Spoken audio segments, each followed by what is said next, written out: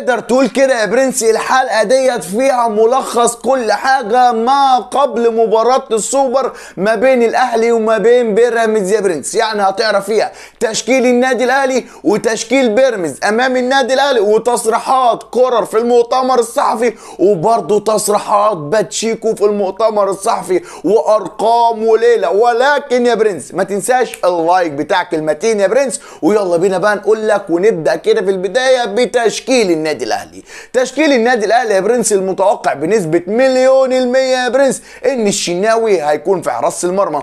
اتنين هيكونوا قلب دفاع يا برنس عبد المنعم ومتولي يا برنس. وهيكون ناحية اليمين هيكون محمد هاني وناحية الشمال طبعا هيكون علي معلول. وأما الثلاثه اللي هيكونوا في نص الملعب هيكون عندك مروان عطية وهيكون عندك حمدي فتحي وهيكون عندك آليو ديانج يا برنس. دولت الثلاثه اللي هيكونوا في نص الملعب. أما الثلاثه اللي هيكونوا في الهجوم يا برنس بيرسي تاو هيكون ناحية اليمين وحسين الشحات ناحية الشمال وفي الهجوم كهربا يا برنس. ده التشكيل المتوقع بنسبة مليون المية تشكيل النادي الأهلي. أما تشكيل بيراميدز يا برنس أمام النادي الأهلي هيكون عندك مين بقى؟ أحمد الشناوي في حراسة المرمى يا برنس وهيكون عندك أسامة جلال وسامي يا برنس الاثنين قلب دفاع وهيكون ناحية اليمين الشيبي وهيكون ناحية الشمال محمد حمدي يا برنس. أما الثلاثه بتوع نص الملعب بتوع بيراميدز يا برنس هيكون عندك توريه يا برنس وهيكون عندك وليد الكارتي وهيكون عندك أحمد توفيق. دولت الثلاثه اللي هيكونوا في نص الملعب. أما الثلاثه اللي هيكونوا في الهجوم عندك مصطفى فتحي ناحية اليمين ورمضان صبحي ناحية الشمال وفي الهجوم فخر الدين بن يوسف يا برنس. ده تشكيل الأهلي وده تشكيل الزمالك الزمالك مين يا جماعة؟ أنا نسيت تشكيل بيراميدز. دولت اللي قلت لك عليهم دلوقتي يا برنس. أما التصريحات يا برنس كولر جد كراريرو قال لك الأهلي لما بيخش أي بطولة بيبقى لازم ياخدها لأن الأهلي متعود على البطولات. أيوه عم كراريرو وقال لك كمان إيه برضه يا برنس؟ قال لك يعني في واحد في المؤتمر الصحفي بيسأله عن موضوع المهاجم وكده.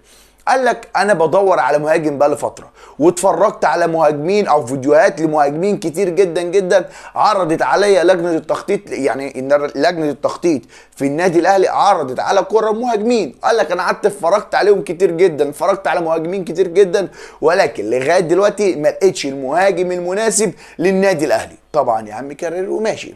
أما بقى التصريح المهم يا برنس اللي وقفت عنده قليلا هو تصريحه على الكهرباء. قال لك يا برنس كهرباء إحنا لغاية دلوقتي بنحاول نطلعه من قصة الضغوطات ومن قصة المشاكل اللي هو بيمر بيها ديت. وقال لك أنا عندي ثقة في كهرباء إن هو قادر إن هو يعدي الضغوطات ديت بكل بساطة وهو مركز جدا جدا في الملعب. الحمد لله يا عم كراريرو إنك عارف على موضوع كهربا وعارف كولر إن هو يتعامل مع كهربا على موضوع أزمته يا برنس. أما الأرقام يا برنس جايب لك رقم. أرقام باتشيكو. امام الاهلي وأرقام كولر أمام بيراميدز يا برنس. نبدأ بكراريرو كراريرو يا برنس لعب ماتشين بس أمام بيراميدز ماتش في الدوري وكسبه 3-0 وماتش في نهائي كاس مصر وكسبنا 2-1 يا برنس. أما أرقام باتشيكو أمام النادي الأهلي كل الناس عارفاها. أول مباراة لباتشيكو كانت أمام النادي الأهلي كانت مباراة نهائي القرن يا برنس بتاع القاضية ممكن والأهلي كسب 2-1 أما تاني مباراة لباتشيكو تشيكو يا برنس.